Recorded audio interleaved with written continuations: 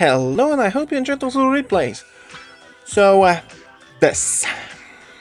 What can I say? It's it's much better than I actually anticipated. I would go through card through card by card by card, but this is my fourth take, and I if I go card by card, they, they go over ten minutes. Uh, so yeah, that's um, that would be a video within of itself, and I don't want that to happen. So I'll just go over things that might be interesting. Uh, first, first is Closed Forest. This is a very powerful field spell for beast decks, since not only does it boosts beasts for 100 attack for each monster in your graveyard, it doesn't specify that it has to be a beast monster. So any monster in the grave is fair game, that's 100 attack points. But more importantly than that, no field spells can be activated while it's face up on the field, and when it's destroyed, no field spells cannot, can be activated until the end of the turn. So Closed Forest is basically a big no-no to anything that plays field spells. Zombie World? No. Alista? No. Shaddolls? You don't get that magical meltdown.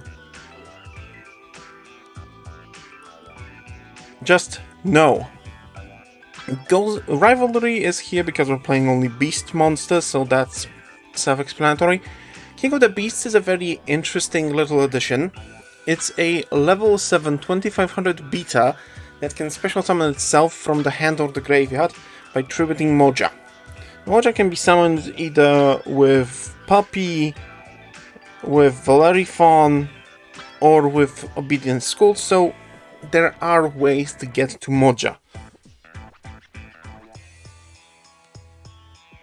So it's very easy to establish a Moja, then go into King of the Beasts, giving us a level 7 monster, which is important for one reason alone, and that is the combo of Harpia Squadron. Since this is a level 7 monster and Harpia Squadron is a level 2, it can easily give us a Stellar Knife Volfreet during the opponent's turn. And then we can just recover the King of the Beasts.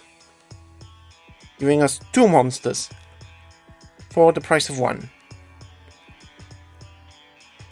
Which I am very, very happy about.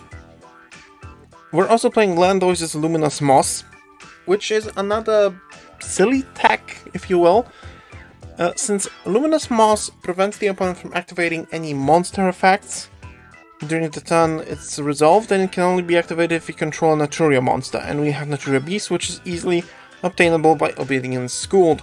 So comboing Obedience Schooled with Landoise's Luminous Moss prevents the opponent from using Nibiru, Ash, DD Crow, any other bullshit like that. That's offline for the remainder of the turn. I was thinking about playing uh, another spell, uh, Barkion's Bark, which does the same at Landoise's Luminous Moss, but for traps.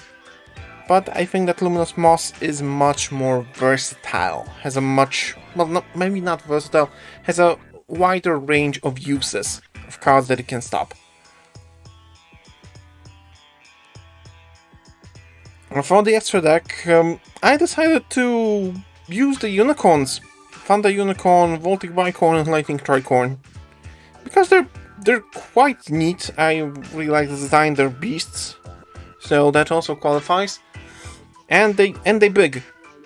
Also Tricorn can just summon Bicorn or Unicorn back from the grave. Easy. Uh, so yeah, that's uh, that's all of it. Thank you everyone for watching, and I will see you tomorrow for the next episode of Yu-Gi-Oh's Unpolished Gems. See you next time. Bye-bye.